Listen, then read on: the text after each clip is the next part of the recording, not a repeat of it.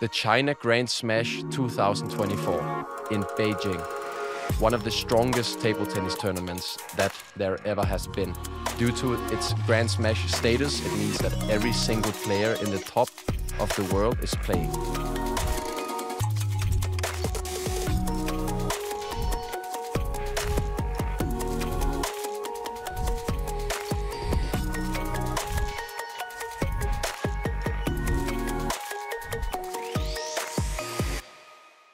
My first round match against Tomislav Pucar from Croatia was anything but easy.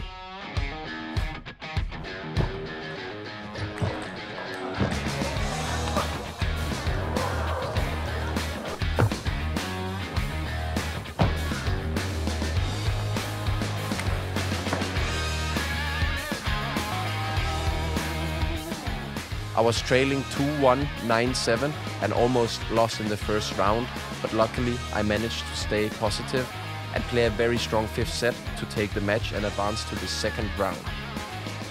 And let me tell you, I played one of the best matches of my life.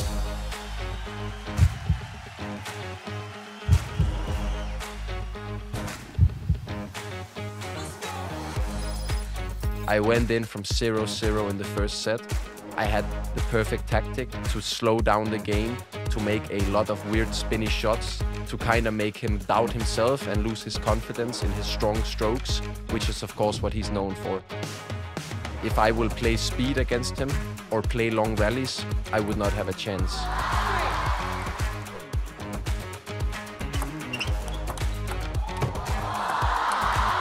The footwork and the lob comes down long. Oh, what a backhand. The power. an unusual flick for an opening.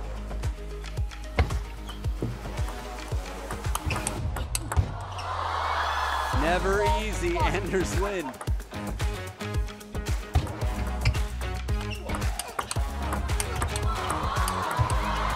Impressive defense, but better offense.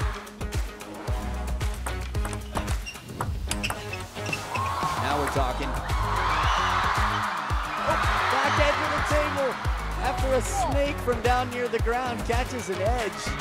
It's adaptation. So I'm very happy that I managed to turn the game into my favor, into my territory.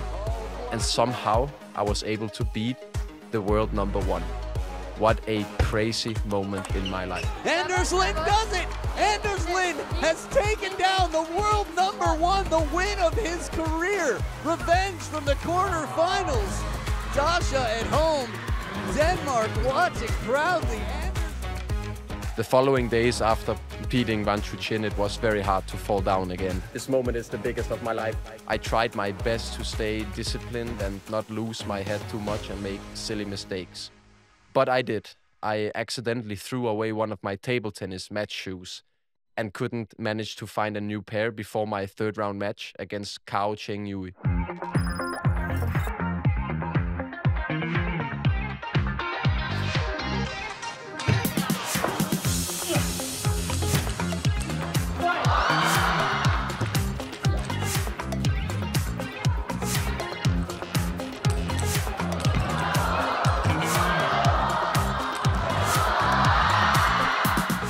So yes, I played this match in my sneakers that I received from Jack and Jones in the Olympic Games.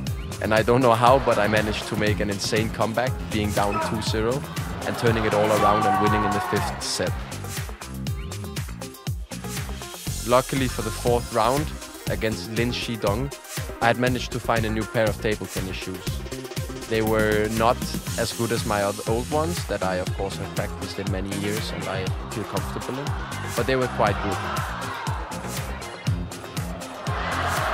Unfortunately, on that day, Lin Shidong was playing like an absolute beast. He was playing so strong from both sides, he was answering everything I tried to do. No matter if I played power or if I played spin, he was always one step ahead. But anyways, it was an amazing experience. Just hear the crowd and the atmosphere in the hall after this amazing point.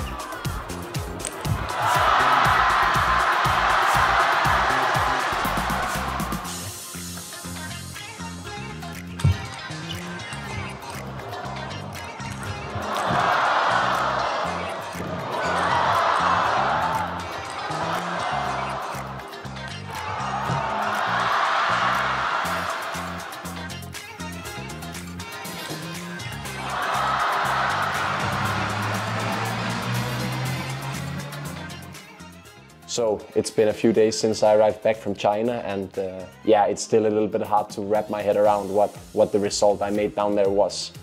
It's very special, and of course, it's not gonna happen a lot of times in my career that I beat the current world number one and the player who was favorite to take down his third Grand Smash title in a row. So yeah, that was amazing. Um, first of all, I would like to thank my coach and teammate Jonathan he really helped me a lot in those matches. What he, what he did for me down in China was really something I appreciate and I owe him big time. And secondly, I would like to thank you guys because wow, holy shit, I received so many messages from, uh, from you guys who are following me, supporting me on these tournaments that really uh, made the result and the victory feel even better. So thank you so much for that. And uh, yeah, that was it. I hope you enjoyed the video and uh, see you next time guys.